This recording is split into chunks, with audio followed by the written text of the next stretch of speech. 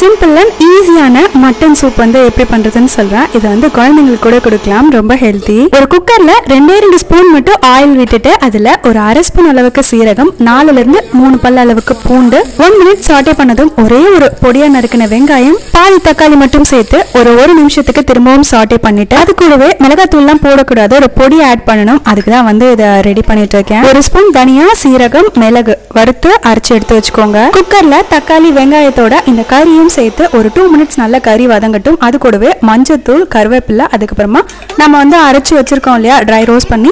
அந்த பொடியை இதோட சேர்த்து நல்லா கலந்து விட்டுட்டு தேவையான அளவுக்கு தண்ணி சேர்த்து கொதிக்க விடணுங்க. தேவையான அளவுக்கு உப்பு சேர்த்துட்டு ஒரு ஆறுலேருந்து ஏழு விசில் போல் விட்டு எடுத்துக்கணும். தண்ணி சேர்க்கும் போதே நல்லா தாராளமாக சேர்த்துக்கோங்க. குக் பண்ணி முடிச்சுட்டு சூப் கம்மியாக இருக்குன்னு தண்ணி போட்டு அட்ஜஸ்ட் பண்ணுங்க அப்படின்னா டேஸ்ட் வந்து மாறிடும். குழந்தைங்களுக்கு கொடுக்குறதுனால நான் மிளகுமே கம்மியாக தான் சேர்த்துருக்கேன். நீங்கள் ஒன்ஸ் சூப் குக் பண்ணி முடிச்சதுக்கப்புறமா மிளகுத்தூள் மிளகு தூள் சேர்த்து சர்வ் பண்ணுங்க. டேஸ்டியாக இருக்கும். பாய்